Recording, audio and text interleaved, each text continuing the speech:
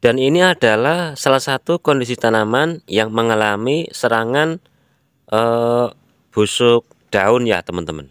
Ciri-cirinya adalah kondisi daun memar basah ya teman-teman.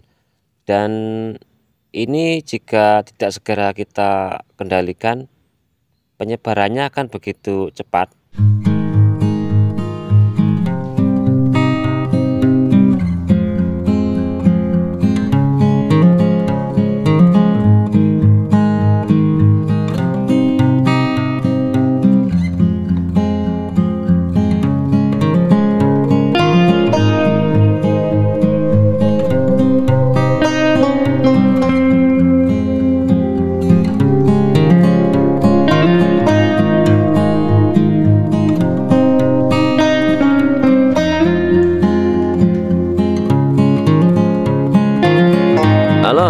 Halo sahabat tani, jumpa lagi dengan Bang Amel Channel Dan pada hari ini kita masih berada di kebun mini cabai rawit Dan bagaimana kabar sahabat semua? Semoga dalam keadaan sehat lah ya Dan pastinya masih semangat dalam bertani dan seperti biasa, kali ini saya mau berbagi pengalaman dan sering lagi terkait masalah budidaya tanaman cabai.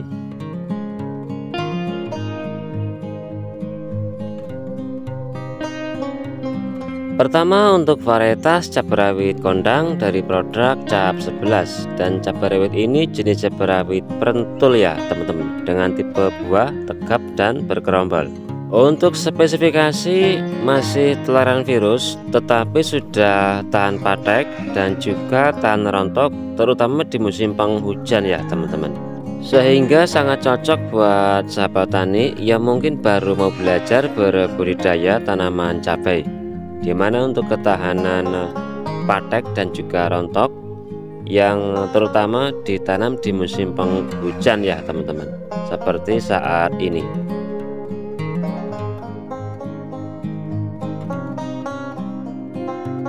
Untuk usia sendiri kurang lebih eh, tujuh hari setelah tanam di mana di usia lima hari yang lalu kita baru saja mengocorkan unsur hara fosfat dan juga nitrogen ya teman-teman. Dan hasilnya seperti ini. Sampai di usia tujuh hari setelah tanam ini untuk kondisi akar masih aman dari serangan penyakit layu bakteri dan juga layu fusarium.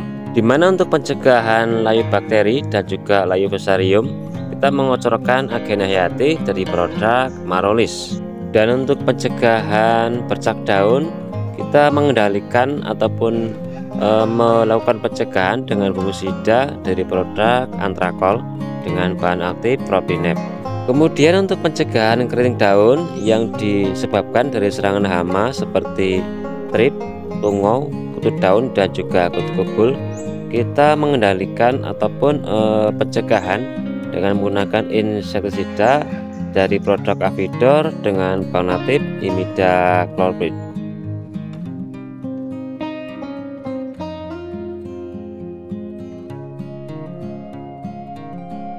Di 5 HST kemarin kita baru saja mengocorkan unsur hara nitrogen dan juga fosfat dari produk Ultradap dan hasilnya seperti ini ya teman-teman walaupun belum begitu terlihat signifikan akan tetapi sudah lumayan sehat dan juga subur.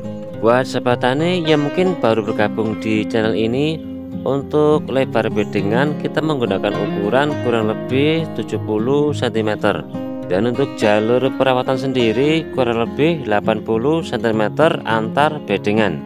Untuk jarak tanam sendiri kita menggunakan ukuran kurang lebih 30 cm antar batang tanaman yang kita tanam dengan sistem sejajar ya teman-teman.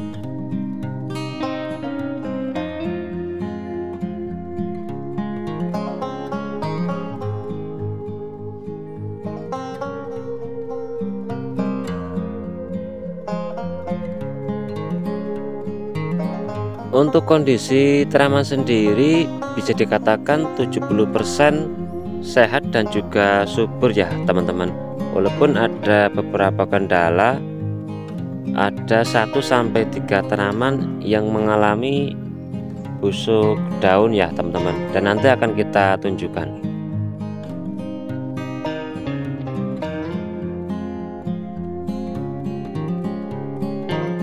Dan ini adalah salah satu kondisi tanaman yang mengalami serangan eh, busuk daun ya teman-teman yang biasanya disebabkan oleh jamur patogen ataupun bakteri ya teman-teman. Dan penyebab utamanya biasanya kelembaban yang tinggi ataupun curah hujan yang tinggi ya teman-teman. Dan sehubungan dengan kondisi tanaman yang seperti ini kegiatan kita kali ini adalah e, mengendalikan kondisi tanaman yang mengalami e, serangan jamur seperti ini ya teman-teman.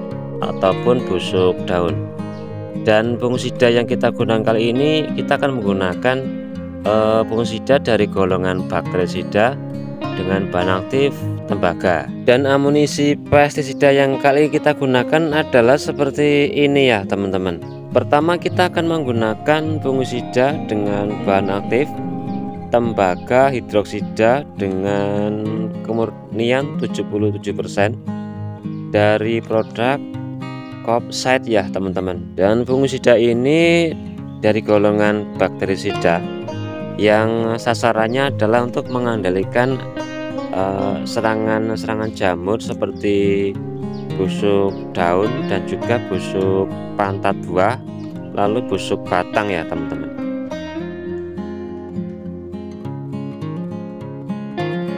Kemudian kita akan mix ataupun kita campur dengan menggunakan kalsium uh, dan ini dari produk Calpofit dari MMT ya teman-teman.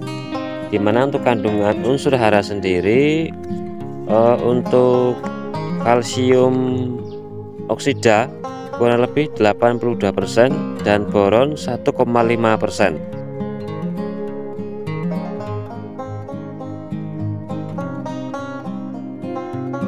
dan tidak lupa kita selalu menambahkan perekat ataupun penembus dengan kualitas yang bagus Kali ini dari produk Super Gold Sticker. Untuk uh, memperkuat daya kerja pestisida terutama di musim penghujan ya teman-teman. Supaya pestisida yang kita aplikasikan pada tanaman kita tidak mudah luntur bila mana terkena guyuran air hujan yang lumayan deras dan penembus dari produk super gold sticker ini dilengkapi aroma serai ya teman-teman uh, di mana fungsi dari aroma serai ini dapat meminimalis serangan hama seperti lalat buah dan juga tikus.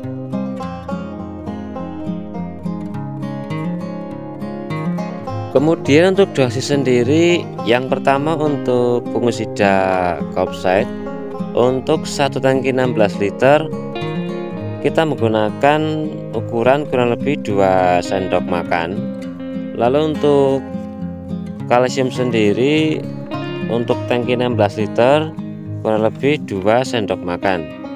Dan penembus dari produk super gold sticker satu tutup botol namun kali ini kita akan menggunakan air cuman seperempat tangki ya teman-teman. Karena kondisi tanaman kita masih kecil dan dosis pestisida akan kita kurangi. Yang pertama untuk fungisida copset kita akan menggunakan seperempat sendok untuk seperempat tangki 16 liter. Kemudian untuk kalsium dari produk Calvovit kita akan menggunakan cukup setengah sendok makan dan penembus kita akan menggunakan juga seperempat tutup botol.